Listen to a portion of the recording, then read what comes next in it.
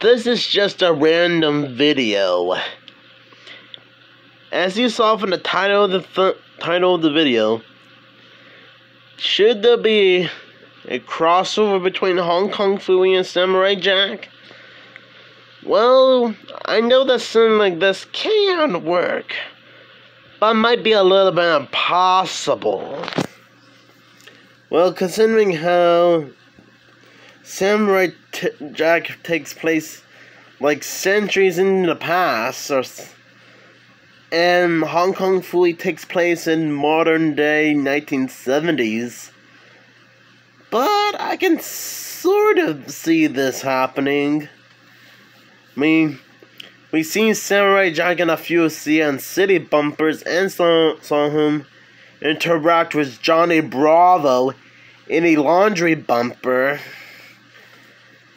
And Hong Kong Phooey has crossed over with a few Hanna-Barbera characters. Mainly... sorry about that. Mainly Laugh Olympics and DC meets Hanna-Barbera featuring Hong Kong Phooey and Black Lightning. Unum. And I think Samurai Jack did appear in a comic book series called Super Secret Crisis War, also featuring Ed, Edd and Eddy, Dexter's Lab, Ben 10, and the Powerpuff Girls. Which I guess those can technically count as Samurai Jack crossovers. So I guessing this isn't a this isn't a huge stretch huge stretch. I mean, I know you guys are already going to the comic se-, se I mean comment section. I don't know why it's said comic book section. I know you guys are already going to the comic comment section saying that it is a bit of a stretch. Which you are right. But hey, anything can happen. Now I don't know the plot for this somewhat crossover can happen.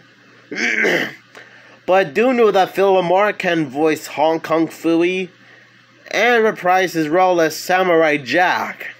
You know? I'm just saying, because anything can ha- anything can happen. oh, sorry about that again. So do you, so if you, if you think a ho- crossover between Hong Kong Phooey and Samurai Jack could work, just let me know down in the comments below.